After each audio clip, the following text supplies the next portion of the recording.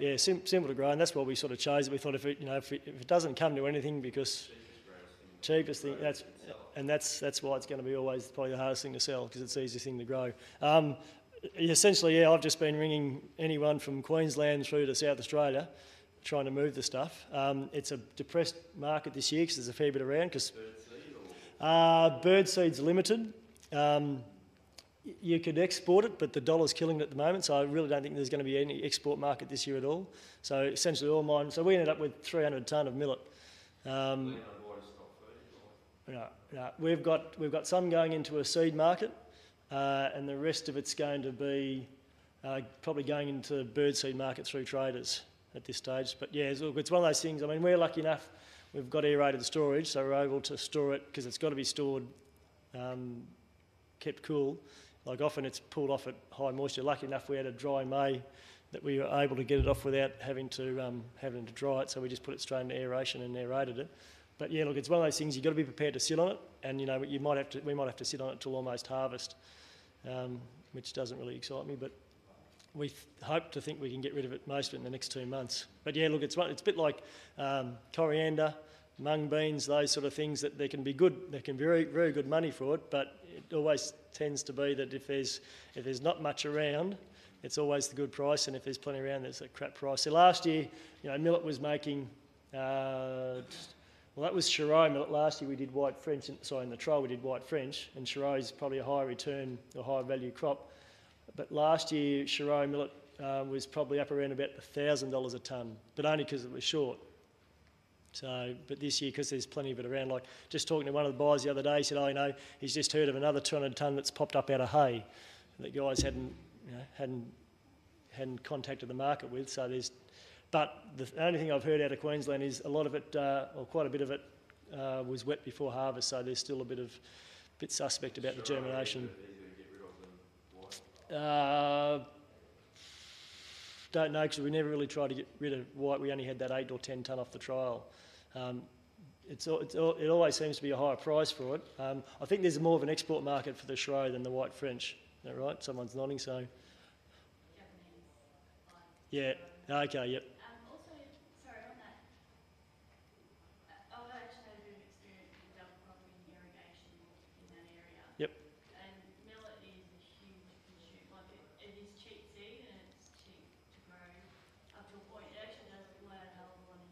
Oh, yeah, for sure. Yeah. So I'm just wondering, having seen it under irrigation with double living, what's going to be your um, nutrient management program with dryland? You know, are you sort of just Essentially, if we were going to, like that one there, we were going to put nitrogen on it, but essentially we couldn't get back on the country. It was too wet over the summer, so and it grew that quickly with the moisture we had last year. We really didn't get an opportunity to do it. But put it, if, if it was, if we were going to grow it again, we'd just do like any other wheat crop or canola crop. We'd be deep N testing and just doing a nitrogen budget and nutrient budget and, and doing it that way.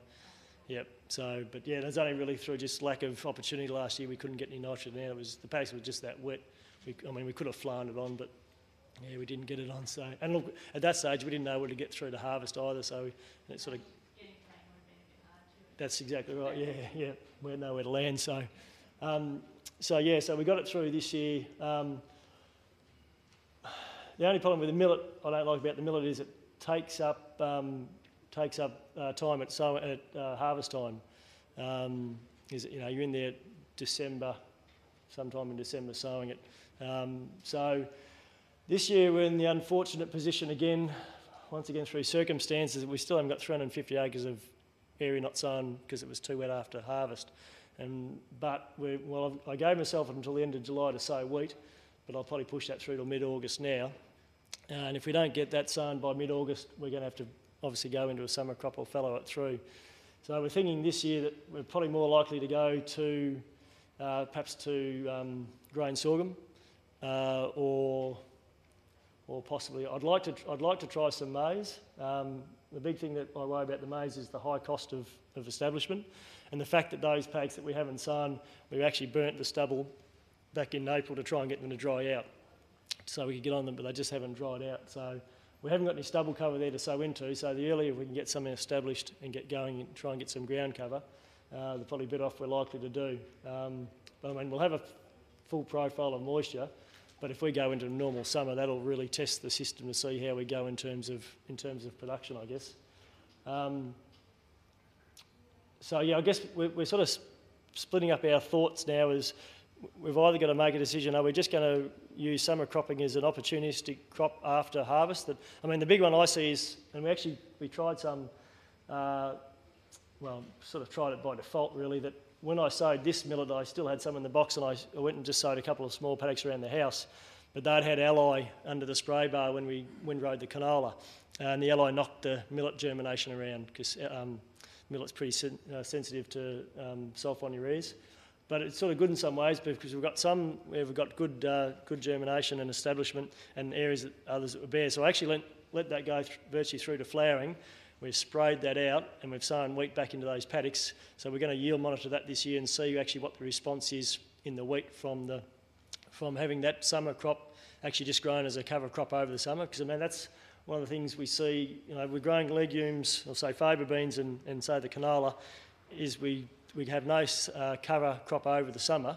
Um, and we're losing any moisture that we get in rainfall because we've got no cover there. That you know, what's the response in actually going in straight after harvest, um, moisture or no moisture, just drilling, virtually following the um, header. Uh, drill some uh, millet in because it's cheap and easy. Just drill some millet in from, for some ground cover. Um, get some moisture, get that up and going. And even if it only gets you know six inches high, two foot high, whatever, just spray it out if it's not going to get through to seed, and just use that as a sort of a, as a mulch crop. Uh, to then when you get that April rain, and that April rain's the you know rain at April is different to rain in, in July. You know, the rate of return on your, your moisture at different times of the year, it's not all the same. So that April rain's probably the most valuable rain we get, perhaps other than the September, October rain. So whatever moisture we can hang on in September, uh, sorry, in April, is worth a lot of money to us in terms of getting crops up and established for, for that year. So um, it'll be interesting to see how the wheat, the wheat yields actually go after the um, yield after that millet over the summer to see how they respond. Um, okay, it didn't show up. Anyways, but the next problem we've got is with the summer crops is is going back into is going back into um, uh, that next winter crop, and that's actually the photo before just showed the seeder um, in that stubble, and that because this millet ended up about this is the stuff we sowed in December. The millet ended up about oh, sort of five and a half, six foot tall.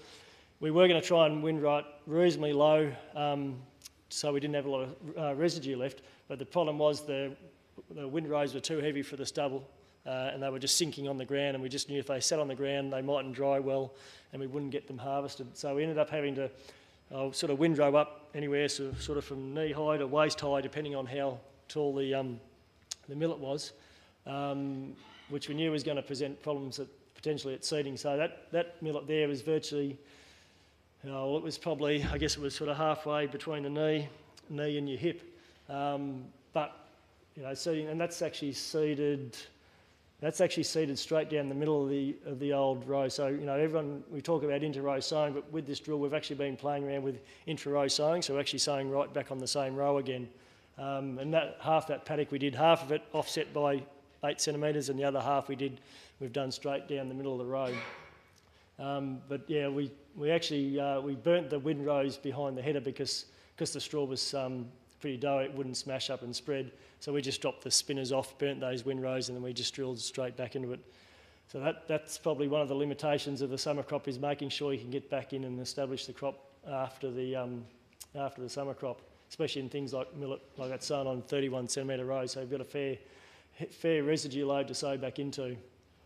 Um, so I guess you know going back to the original thing of why we consider these summer crops, I guess these were just some of the points I put down is why I guess we have considered them and why we think we might consider using them is that no, I guess it opens up our sowing windows. I guess that's been pretty evident, especially the last 12 months with the with the floods and then the, the wet conditions. This sowing period is not being able to get some country sown. At least it gives us an opportunity to to go back and sow uh, crops. You know, essentially we've got a sowing window now, I guess, of probably six six to eight months of the year instead of just being in those two months of the year in April and May. Um, I mean, since we've gone into that no-till full stubble retention, you know, we've got more moisture available. I mean, in this year we actually had too much moisture. We had to burn all our stubbles to try and get the paste just to dry it to get to sow them. But you know, in, in most years that extra moisture is available there that we, we're going to try and exploit if we've got it or if we have to.